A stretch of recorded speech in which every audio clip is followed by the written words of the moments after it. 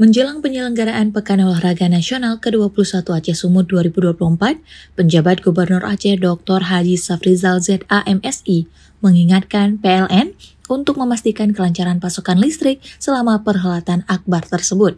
Pesan itu disampaikan dalam sambutan tertulis PJ Gubernur yang dibacakan PLH Sekda Aceh Azwardi pada apel siaga kelistrikan yang digelar Selasa 3 September 2024 di Merdu Ati, Banda Aceh.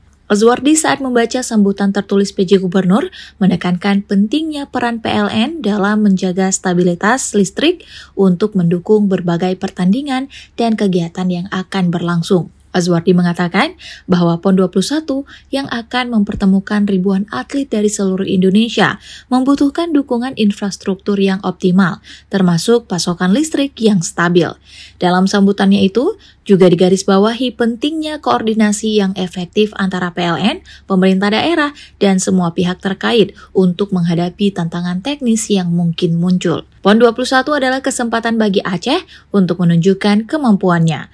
PLN memiliki tanggung jawab besar untuk memastikan setiap pertandingan dan kegiatan dapat berlangsung tanpa hambatan, ujar Azwardi.